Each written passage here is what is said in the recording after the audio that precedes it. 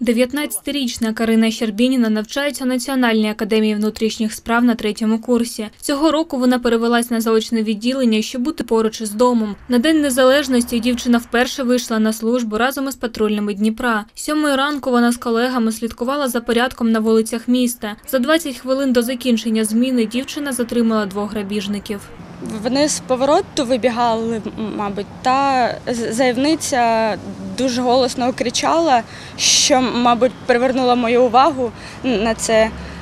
Я за ними побігла метрів 80, мабуть, та зупинились вони, е, відразу поклали свої речі, е, здійснювали поверхневу перевірку.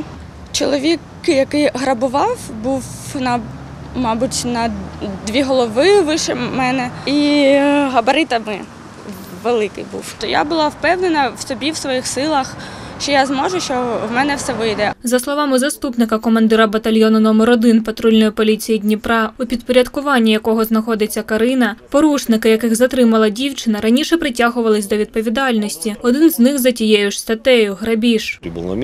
Коли я прибув на місце, рядова поліції Карина розказала мені, що коли вона відійшла купити води, то побачила цю ситуацію. Одразу побігла за грабіжниками. У ході спілкування з грабіжниками ми виявили, що сумочкою вони заволоділи силою. Там було 420 гривень. Це було перше офіційне патрулювання Карини, і вона вже так себе показала. Я вважаю, що це дуже сміливий та правильний вчинок. Карина Щербініна шести років займається боротьбою дзюдо самбо, стала кандидатом у майстри спорту України. Дівчина вважає, що саме це їй допомогло наздогнати та затримати грабіжників.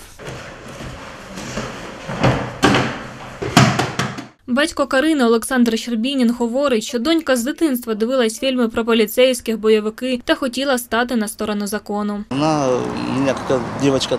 Вона в мене дівчинка бойова. Я за неї спочатку дуже переживав, а потім зрозумів, що вона може, вона вміє. Я підтримую її, дивлюсь на неї і розумію, що вона змінює все на краще. 24 числа перед закінченням зміни розмовляв з нею, сказала, що все добре. Пройшло півгодини, подзвонила і говорить, що затримала грабіжників. Я спочатку не повірив, а потім, коли все розказала, в мене шок. Я дуже пишаюсь своєю дівчинкою. Карина продовжить нести службу у патрульній поліції міста. Через рік після закінчення навчання вона стане слідчою. Ольга Запорозька, Павло Чорненко. Новини на Суспільному. Дніпро.